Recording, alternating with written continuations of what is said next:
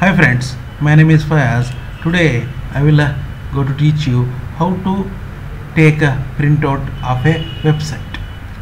So, so for that one here, first of all, we need to open a, one website that is uh, printfriendly.com.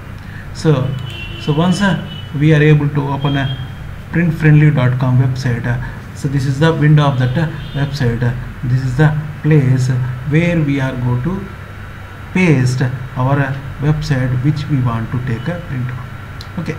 So for example here this is the my blog. So where I copy the my blog address and I paste the blog address in this uh, place. So then I click on a print preview. So it takes uh, one or two seconds uh, to convert uh, that thing into a, on a preview format. So this is the preview of that uh, my blog. So then uh, so here I click on a print.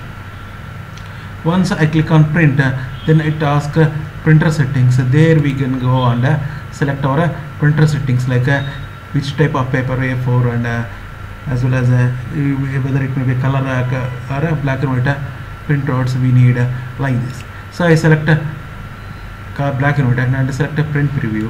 So then I will go to select OK so once uh, printer settings are selected then uh, it takes uh, within minutes to take out our website into printout format.